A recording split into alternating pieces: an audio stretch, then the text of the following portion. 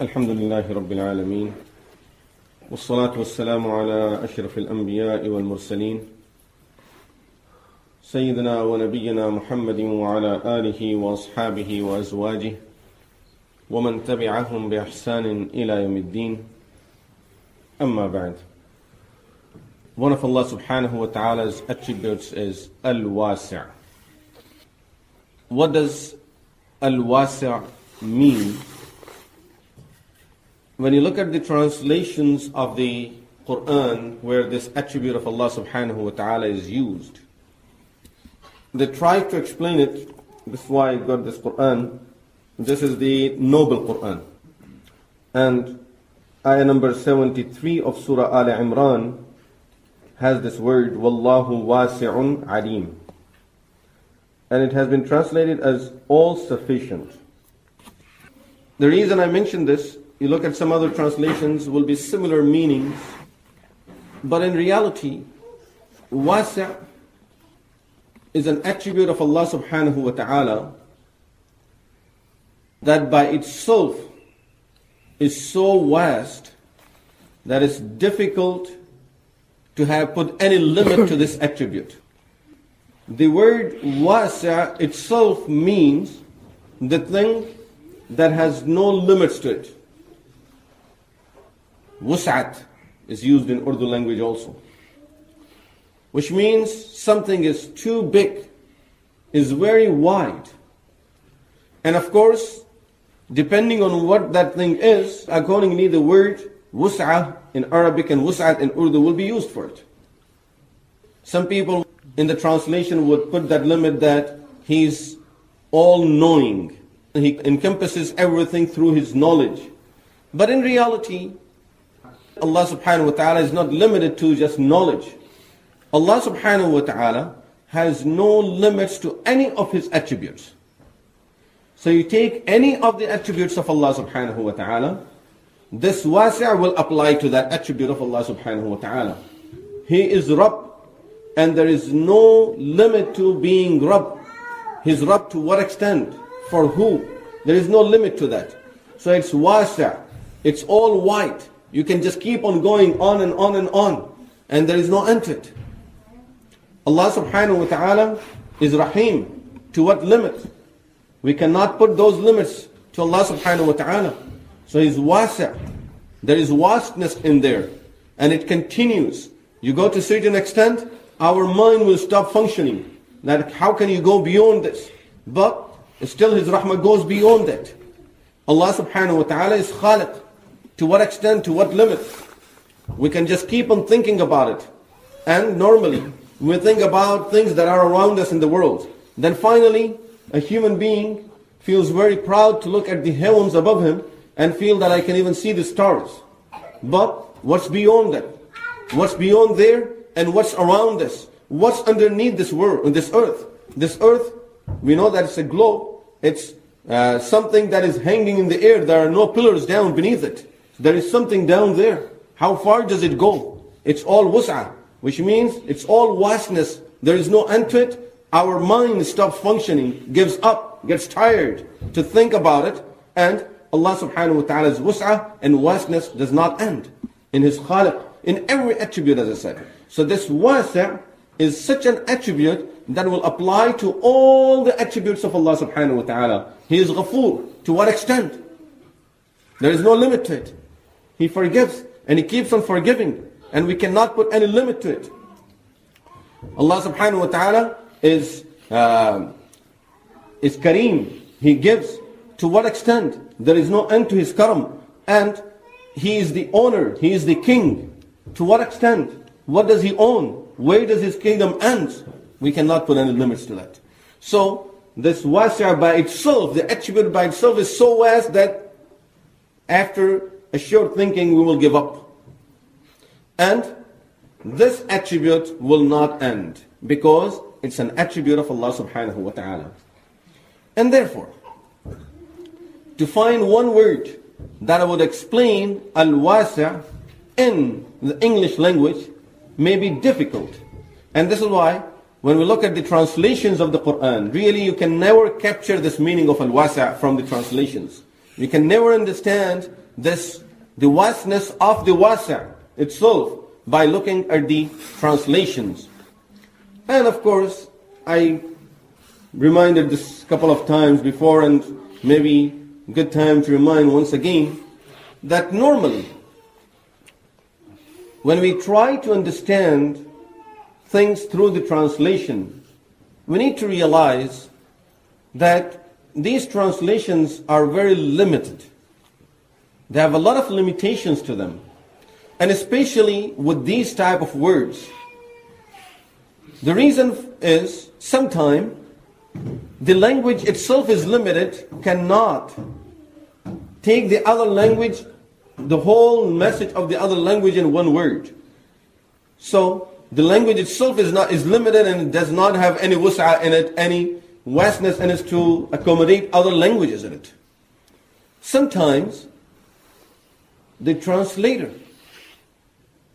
his choice of the words may be limited, and sometimes, which goes even beyond this, is translations, translators' understanding of the word may be very limited.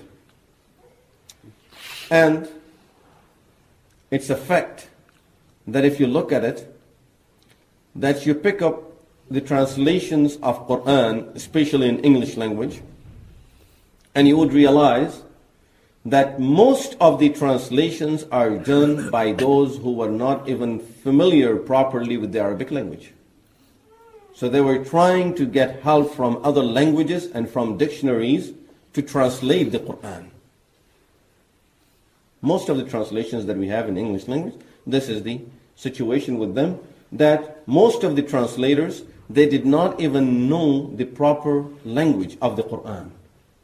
So they were taking the help of the normal dictionaries. Remember, they were taking the help from dictionaries to translate Quran. So when a person will look for a translation of a meaning in a normal dictionary of a language, so then this person does not, for sure, does not know the real tafsir of the word, the real explanation of the word as it was explained by Rasulullah sallallahu alaihi wasallam and Sahaba ridwanullahi alaihim ajma'in.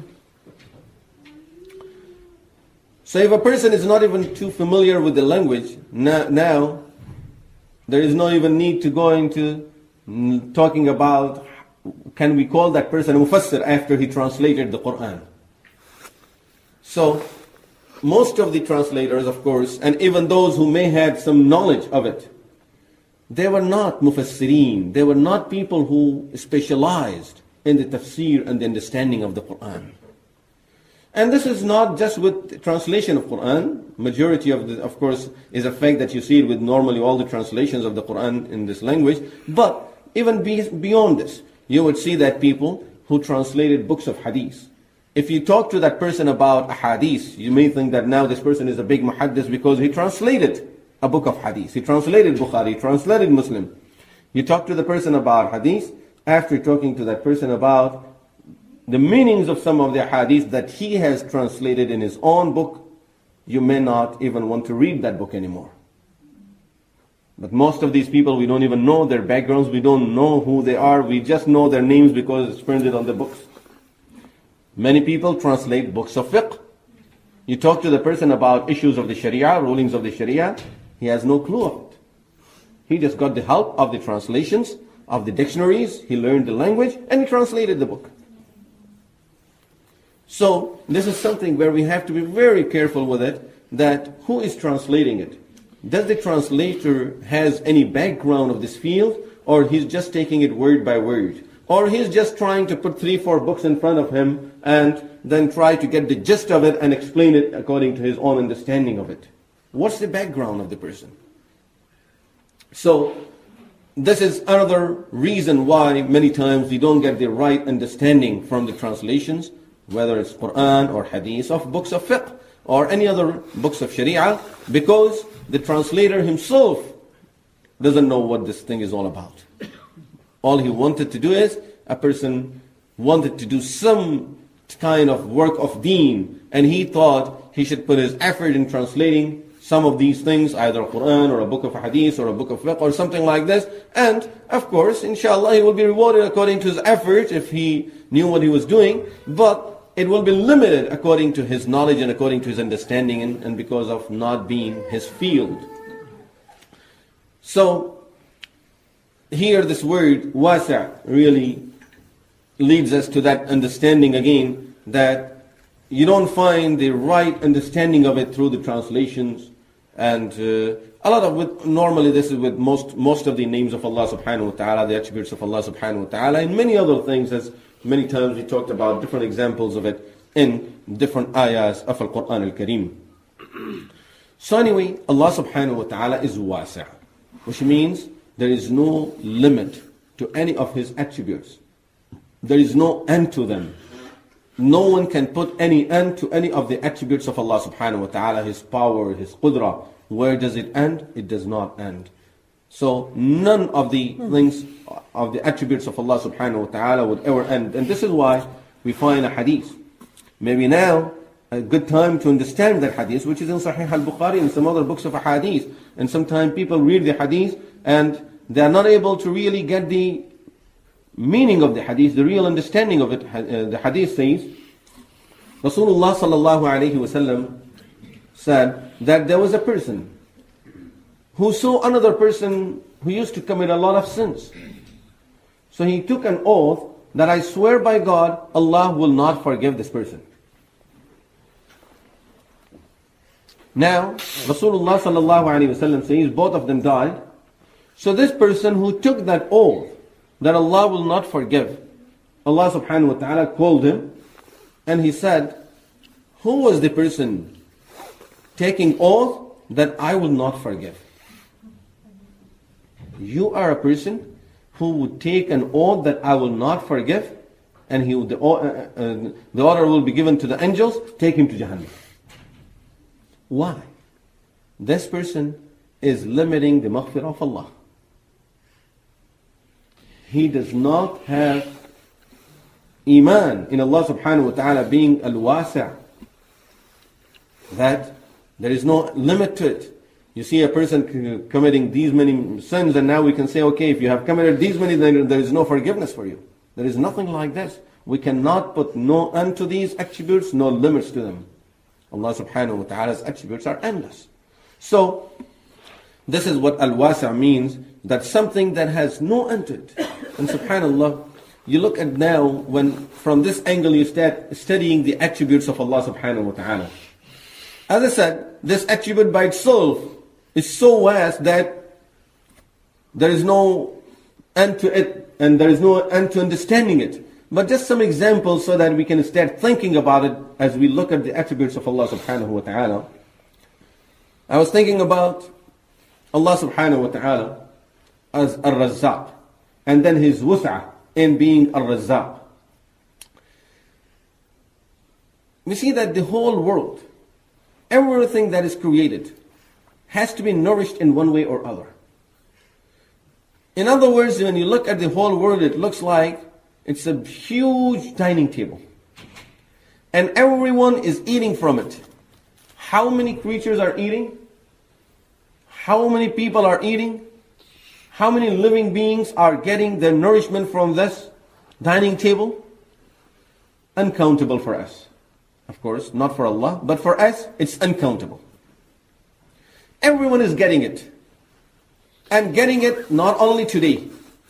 They were getting it yesterday, they're getting it today, they will be getting it tomorrow, and it's going on for, wallahu alam, how many millions of years.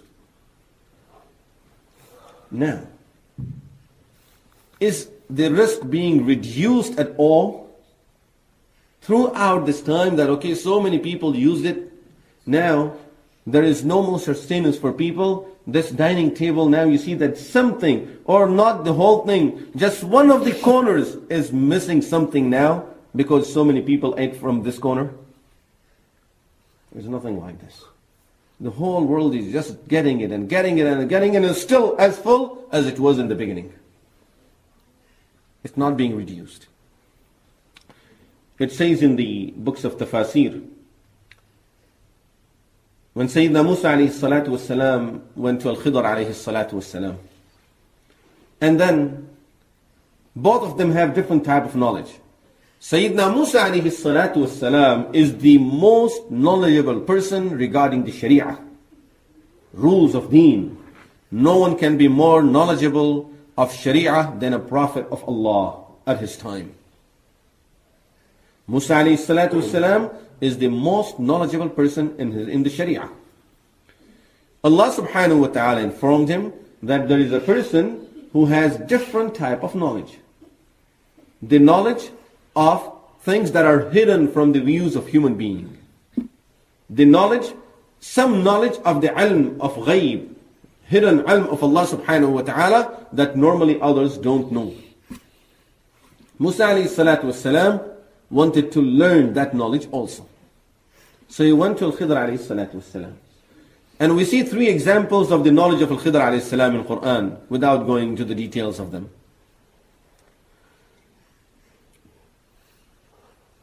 At that time, imagine now two people.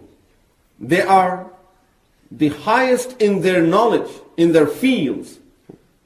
And both of them are getting their knowledge directly from Allah subhanahu wa ta'ala. So there can't be any knowledge higher than the knowledge of these two people now a bird came, small bird came and took some water from the ocean. How much it may have drank from the ocean? Maybe a drop, couple of drops. Al-Khidr alayhi salatu wasalam says to Musa alayhi salatu wasalam that do you realize that with all the knowledge that you have and all the knowledge that I have, this is not even this much, as much as this uh, bird took the water from the ocean, this is not even this much in comparing to the ocean. So our knowledge is not even this much in comparing to the knowledge of Allah subhanahu wa ta'ala. And really that was only an example. Otherwise, even this is too much. That example is, the person is trying to exaggerate with the example. Because comparing to the ocean, two, three drops are still maybe some something there. But the knowledge of human beings comparing to the knowledge of Allah subhanahu wa ta'ala is nothing. And this is why Allah subhanahu wa ta'ala again and again reminds us of the vastness of His knowledge, that He has the knowledge of all things, He has qudra over everything. وَسِعَ كُرْسِيُّهُ السَّمَاوَاتِ وَالْأَرْضِ His power is over everything. So, there is no end to it. And as I said, you just keep on thinking about and try to put an end. How far should we go? There will be an end to our thinking, but no end to these attributes of Allah subhanahu wa ta'ala. And then one of the beautiful things that Allah subhanahu wa ta'ala tells us in Quran, وَرَحْمَتِي وَسِعَتْ كُلَّ شَيْءٍ My mercy, my rahmah encompasses everything. It reminds me reading in one of the books, uh, a scholar says that he saw shaitan in his dream. Hmm. Shaitan came to debate with him in his dream. So he says to him, do you believe that Allah subhanahu wa ta'ala's rahmah encompasses everything? Rahmati wasi'at kulla shay. This is what Allah says. He says, yes. He says, I'm something or I'm nothing. You're something, shay. You are something. He says, then I'm going to get the rahmah too. وَرَحْمَتِي وَسِعَتْ كُلَّ شَيْءٍ So I must get the rahmah. And you people believe that I will be punished forever. What happened to that rahmah now? So he says to him, he says, I told him that yes, Allah subhanahu wa ta'ala's rahmah encompasses everything and covers everything. But when someone does not accept it, someone rejects it, then of course he is the one who's refusing it. Allah subhanahu wa ta'ala's rahmah is there for you. Go ahead, do the sujood now. If a kafir today comes and tells us, how about the rahmah for me in the akhirah? It's there. Just say, Ashhadu an la ilaha illallah wa ashhadu anna Muhammadan abduhu wa rasuluh. It's there for you. It's only the person is rejecting it. He's saying, I don't want it. Allah subhanahu wa ta'ala says, take it, it's for you. And he says, no, I don't want it. So you are rejecting it, the, the shaitan, he's told the shaitan that you are rejecting it. Allah is not keeping it away from you. Allah has it there for you, and it's there for you for people who maybe who can get worse than you. It's for everyone there. But whoever is willing to take it, they will get it. And the people, the people who would reject that, then of course uh, it's their own fault. So this is wasi'. Allah subhanahu wa ta'ala is al-wasi' and as I said, now instead going into the depth of it, applying this attribute of Allah subhanahu wa ta'ala to anything. Anything comes to your mind that Allah can do this, Allah will do this, this is the attribute of Allah, and you apply this there, and you just keep on going there. So we don't need to really go into the details of more examples. This is enough to understand Al-Wasi' subhanahu wa ta'ala, and how nothing, nothing that is attributed to Allah subhanahu wa ta'ala has any limits to it, has no ends to it. The next attribute that is mentioned in this hadith is Al-Hakim subhanahu wa ta'ala. all the attributes of Allah subhanahu wa ta'ala are such that if you start talking about them, you'll just keep on talking and talking because they have no end to it, they have no limit to it. And Al-Hakim especially is a word that is being used a lot in Quran, being used a lot. The word hikmah is being used a lot nowadays also in our common talks and especially when a talk about deen is there, we like to use the word hikmah that you use the hikmah in talking about deen and conveying the message of deen. So this is why, without going into too much detail, I just like to bring up few points, very briefly, about this Al-Hakim subhanahu wa ta'ala and what does the word hikmah means. Literally, the word hikmah is driven from the word hakm. And hakm in Arabic language means to stop something. Mana. To stop something. This is hakam. and then from the same word, hakam, the word hakam with the uh, fatha on the kaf has been driven, which means a judge, hakam. Why the hakam is called, uh, judge is called hakam? Because he stops people from doing wrong to each other by giving the right judgment. Hikmah is driven from the same word, hakm, which means to stop. And the reason is, hikmah will stop the person from doing wrong. This is why it's called hikmah. So this is the root word of the hikmah is hakam and really the, the literal meaning of hakam is to stop something. And then the word hikmah and hakam and hakim, all of them are driven from the same root word. What does hikmah means? Hikmah means two things in Arabic language. One is to do something very perfectly. Hakama yahkamu, to do something perfectly. In such a perfect way that there is no better way of doing it. Of course, for human being, we say, hakam al-amal.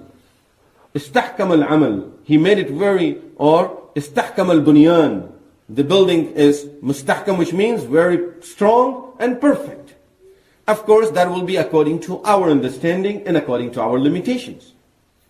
And Allah subhanahu wa ta'ala is hakam and hakim in that sense, which means whatever He made, He made it perfect in what it should be. So everything is perfect according to its creation and according to what it should for the purposes that it is supposed to fulfill. And this is what Allah subhanahu wa ta'ala says in Quran al-Kareem, صنع الله الذي أتقن كل شيء. It is the creation of Allah who perfected everything that He made. أتقن كل شيء. He perfected everything. So itqan, which and Rasulullah sallallahu alayhi wa sallam so, uh, says in a hadith, Allah subhanahu wa ta'ala loves a believer who whenever he does something, yutqinahu. He does it perfectly. That when you do something, you don't do it half-heartedly. You do it properly. Allah subhanahu wa ta'ala loves people who when they do something, they get into it, they do it properly. This is one meaning of hakam and we see that Allah subhanahu wa ta'ala is uh, Hakim as he have perfected everything that he created. The second meaning which is more commonly used is wisdom, understanding. What does in reality hikmah means when it comes to that sense? It means to have the best knowledge from the best sources and be able to use that knowledge in the best form. Three things.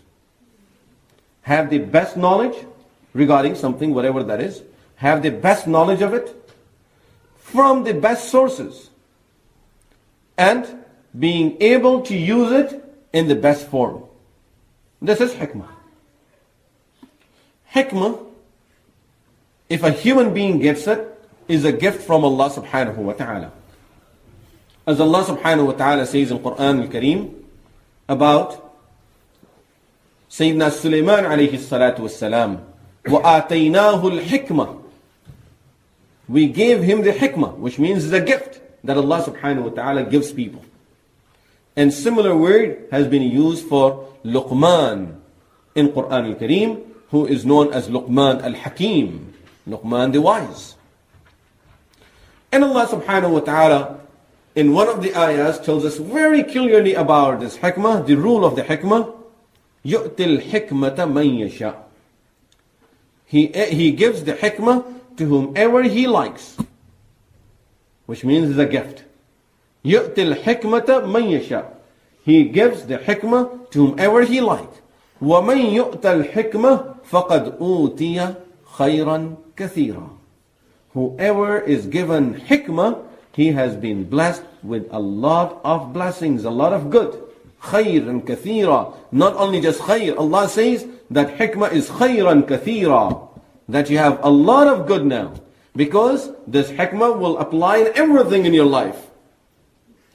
So from everything, every, everything that you do in your life is as per the hikmah. Is not as per emotions. It's as per hikmah. So everything you are driving a lot of khair from this one hikmah. And then when we look at the hadith, we find that Rasulullah sallallahu alaihi wasallam tells us that when a person humbles himself before Allah subhanahu wa ta'ala, Allah subhanahu wa ta'ala opens the doors of hikmah for this person. In one of the hadiths, Rasulullah sallallahu alaihi wasallam said, a person who would perform salah with the jama'ah for 40 days continuously, each and every salah with jama'ah for 40 days. Rasulullah sallallahu alayhi wasallam says, Allah subhanahu wa ta'ala will bless that person with the hikmah. This is to open the door of the hikmah for our souls, to receive that special gift of Allah subhanahu wa ta'ala of hikmah. Rasulullah sallallahu alayhi wasallam says that perform salah with jama'ah for 40 days. Every salah for 40 days with the jama'ah. And Allah will open that door of the hikmah for you. And then of course, people will advance in it according to their abilities and according to uh, their zeal of learning and connecting themselves to Allah subhanahu wa ta'ala. Rasulullah sallallahu alayhi said in the hadith, Ra'sul hikmati makhafatullah. The peak of the hikmah, the highest level of the hikmah is the fear of Allah subhanahu wa ta'ala.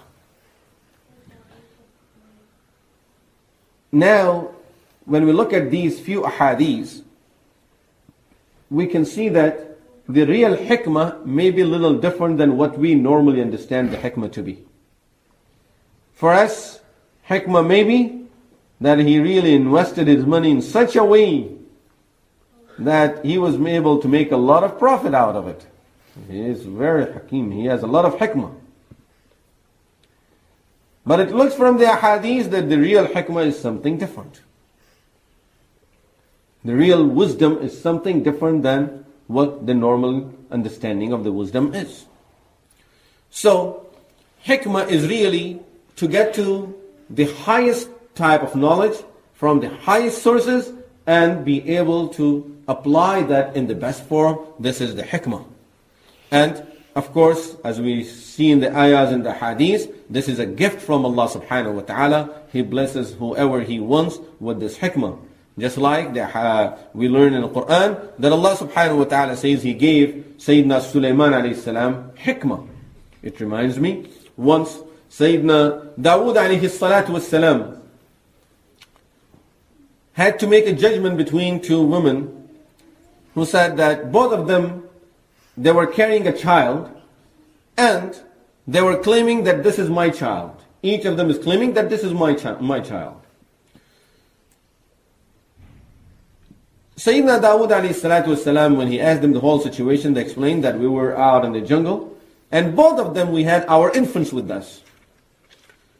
And a wolf came and took one of our children and went away with it. So now both of them are arguing that whose child was taken away. The mother really knows, and even both of these know. But the one who lost the child, she would like to have a child. Dawood والسلام, had no way of knowing now whose child would be this.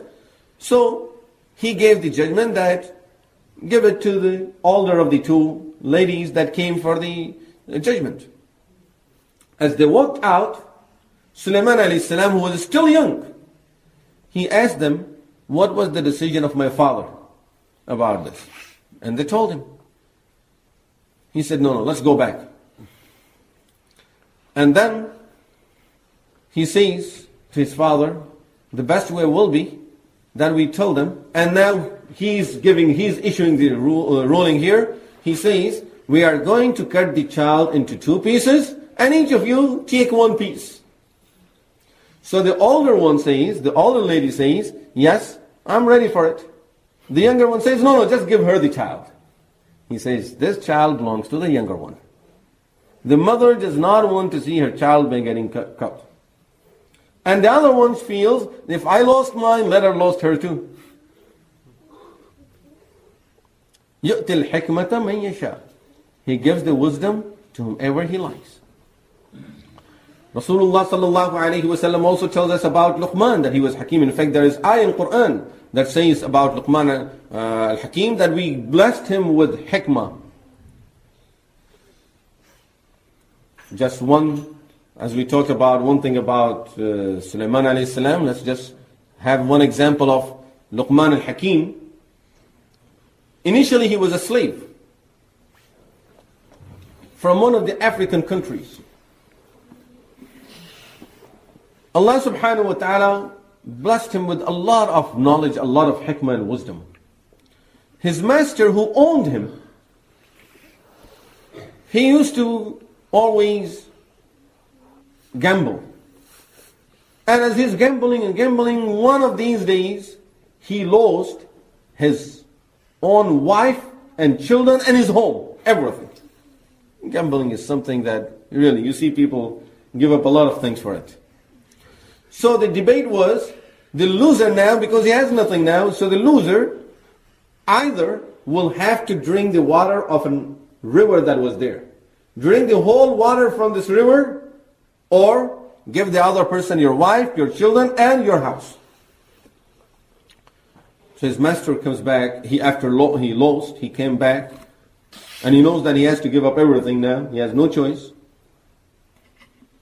So Luqman, which was, who was his slave, he asked him, "I see that you are very worried. Something happened." He says, as normally people will look at those type of people, just be quiet. You know, you have nothing to do with it. Mind your own business, do your own work.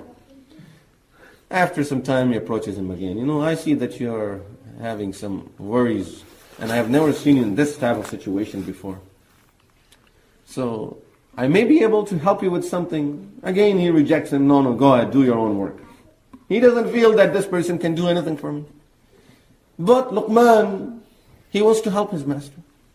So the third time he approaches him, he says, please, just tell me what's the situation. And then if I can't do nothing, you won't lose nothing. So the master tells him the whole thing. He says there is a very easy solution to this. You're not going to lose nothing. Don't worry about anything. He says, what do you mean? There is no solution. Do you think I can drink the water? That's the only choice. He says, that's fine. You can do that. No, no, I can't do this. He said, I'll tell you how to do it. So he says, go and tell the other person, I'm willing to drink the water, but I'll drink the water only that is in this river at this time. I'm not going to drink the water that keeps on coming into it. So stop the water from getting into it. And then I'll start drinking this water. And he has no way of stopping the water from coming there. So if he has no way of stopping the water from coming there, then he cannot fulfill the condition and then you won't have to fulfill your condition. Condition is you just drink this one. You don't have to drink every water that keeps on coming into it. It's not going to end. So he was very happy. He goes back and he told that person, okay, I'm willing to drink that water. He said, okay. He said, but stop the other water from getting in there. He has no way. You do that, I'll drink the water. If you can't do it, I can help you with it. So, at this time, he didn't lose anything, but he set Luqman free He let him go. So, hikmah. يؤتي الحكمة من يشاء. And we know that Rasulullah sallallahu alayhi wasallam said about Ali radiallahu anhu that Allah subhanahu wa ta'ala have blessed Ali radiallahu anhu with hikmah, with wisdom, with a lot of hikmah. Really, subhanallah, if you start looking at the stories of Sayyidina Ali radiallahu anhu, in his hikmah, in his wisdom, there are so many, there are so many, and at this time, I'm just, while I'm saying so many, I'm trying to decide which of those to mention, if I have to mention one.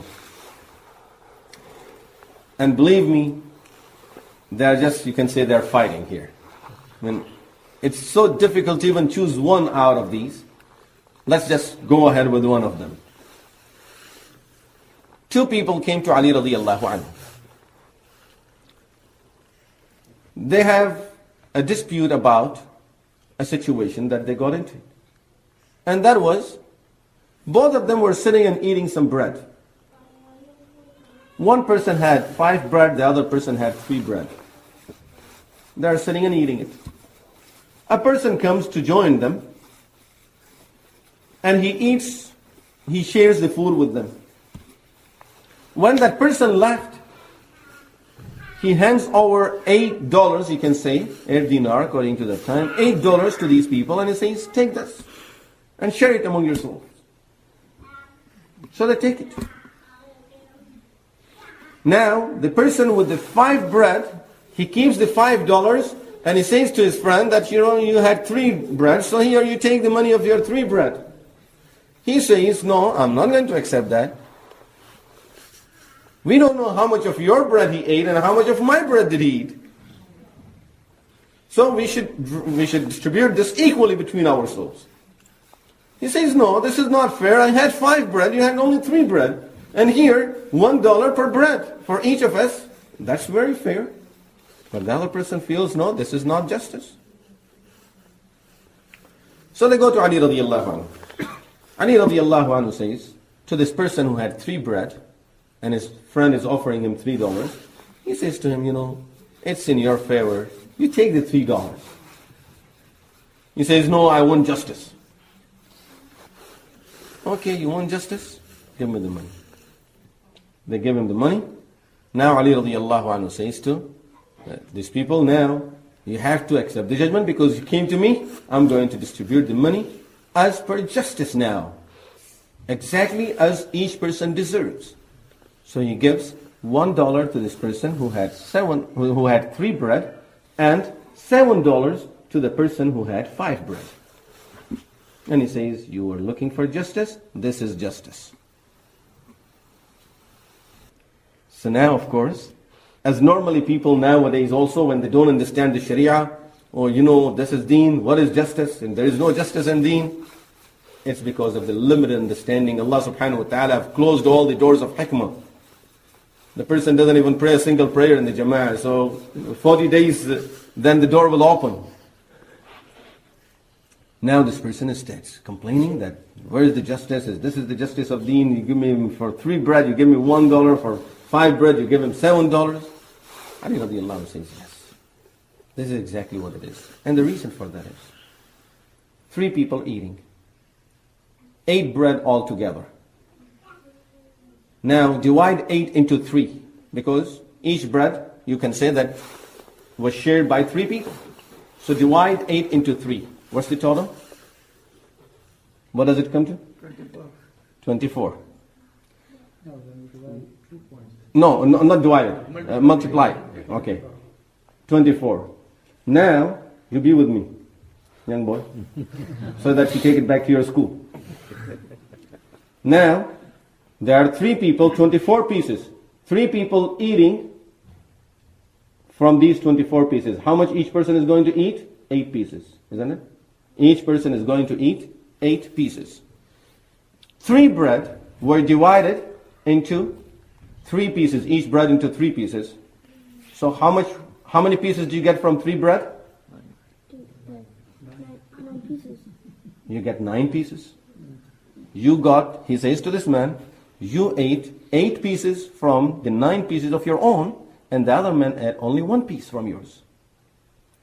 Five bread he had, and five times three, fifteen.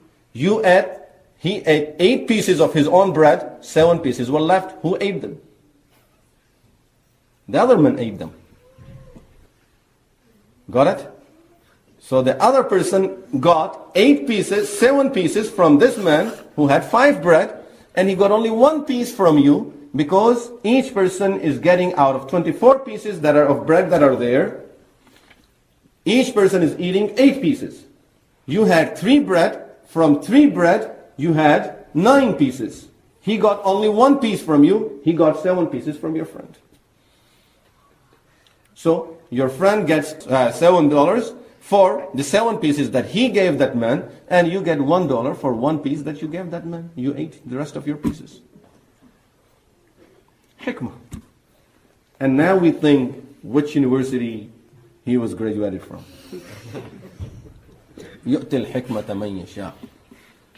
and some of his really, this was one of the, this wasn't the most difficult judgment of Ali radiallahu anhu that he just issues right there. This wasn't the most difficult one. There are some that if we even start talking about them, we will not be able to understand it for some time. So Allah subhanahu wa ta'ala blessed people with hikmah, with wisdom. And this is really, He opens the doors of the wisdom as a gift. This is a gift from Allah subhanahu wa ta'ala. Unfortunately, nowadays, you know what does hikmah means? When we talk about sharia, we say, you know, you should have hikmah, which means find a way of not following it. When you have to, when you go somewhere, people are doing haram, you know, you have hikmah, go and join them. Do all of that haram. Do you you have a lot of hikmah. If you don't do that, everyone is going to come. A lot of time it happens to me too. When you go somewhere, there's something haram, you stay away from it, people will try to come and explain to you, no, you use your hikmah, you come there, people will understand. Then you can sit and talk to people. Is this is the only occasion that we can sit and talk to people? That you go and commit some haram and then you talk to people? Why do you have to drink with those who are drinking as part of your hikmah? Why do you have to dance with those who are dancing as part of your hikmah? So hikmah really is used for a totally opposite meaning than what Sharia is using it for. Sharia is using it for applying the Sharia in the best way. And is being used for rejecting it, billah, in a very nice way, where you will be considered good imam, good sheikh, good scholar, good Muslim, everything good, because you used your hikmah in rejecting the Sharia. This is, if you look at it, normally, always, always, the word hikmah when it's being used, this is where it's used. When parents are trying to explain to their children not to follow deen, they will use the word hikmah. You know, you need to use hikmah. You don't pray in front of these children. You don't pray at your school. Come back home. Miss the salah. Hikmah. So, everywhere where pe- people will be teaching others to reject some of the orders of deen, they will start using the word hikmah for it. And of course, this is totally opposite than what Sharia is teaching us the hikmah to be. But very quickly, Allah subhanahu wa ta'ala, His attribute is al-Hakim in this sense. Who can get to the wisdom of Allah subhanahu wa ta'ala? Who can get to the knowledge of Allah subhanahu wa ta'ala? And according to His hikmah, according to His wisdom, He gave us the sharia. He gave us this deen. Many times we are not able to understand the reasoning behind these orders of the sharia. It's because our limited understanding, we cannot, we cannot understand the hikmah of Allah. So when a time comes when a person is not able to understand the hikmah of Allah, we should admit to our shortcomings and our limited understanding and just say, Allah is Hakim. If he says two rak'ah for Fajr, I'm not going to argue why not three rak'ahs for Fajr. If he says three for Maghrib, I will accept them and I won't say why not two for Maghrib. Because this is his hikmah, I cannot understand it. I have, we have our limitations to the hikmah to our understanding, to our wisdom.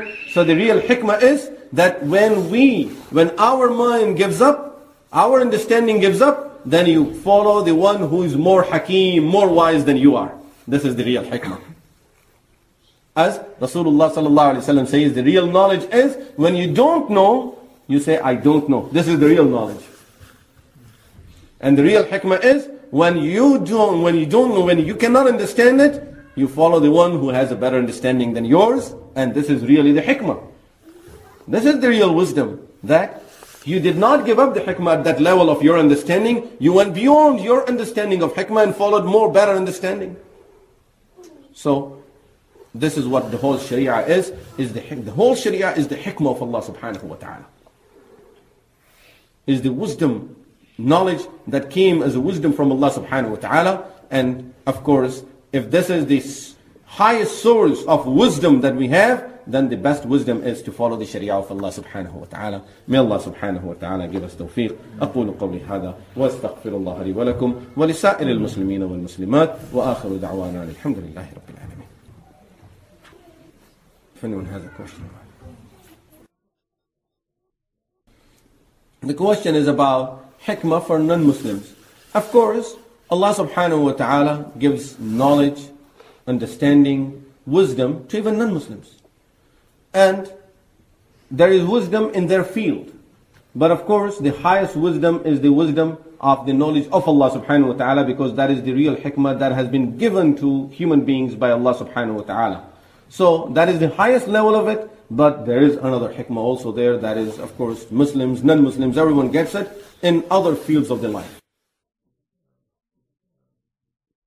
The hikmah has nothing, if a person has knowledge, wisdom, understanding, that has nothing to do with a person getting forgiveness or going to the Jannah. That depends on Iman.